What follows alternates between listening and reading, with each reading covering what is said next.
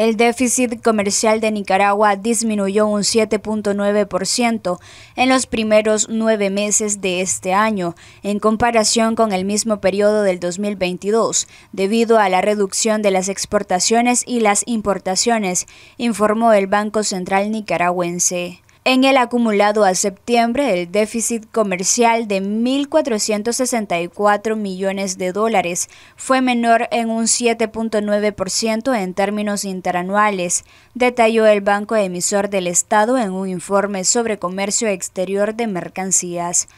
La reducción del 7.9% en el déficit comercial entre enero y septiembre es resultado de la evolución positiva de los términos de intercambios, explicado por el aumento de los precios promedio de las exportaciones y disminución en los precios promedios de las importaciones de bienes, explicó la entidad monetaria. También debido a una disminución de las exportaciones y de las importaciones, precisó la entidad.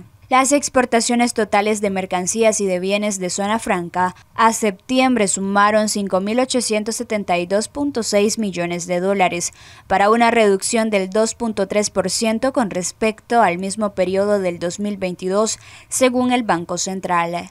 La reducción en el valor exportado en el periodo enero-septiembre se debió a la baja de un 7.4% en las exportaciones de zona franca, que superó el crecimiento del 2.5% en las exportaciones de mercancías, indicó la fuente. En tanto, las importaciones de mercancías y de bienes de zona franca a septiembre totalizaron 7.343 millones de dólares, un 3.5% menor que las registradas a septiembre del 2022, señaló el Banco Emisor del Estado. Nicaragua cerró el 2022 con un déficit en su balanza comercial de 2.393.8 millones de dólares, un 59.5% más al registrado en el 2021, según el Banco Central.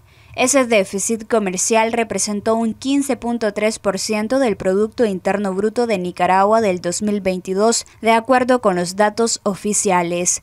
Para Noticias 12, Luisa Centeno.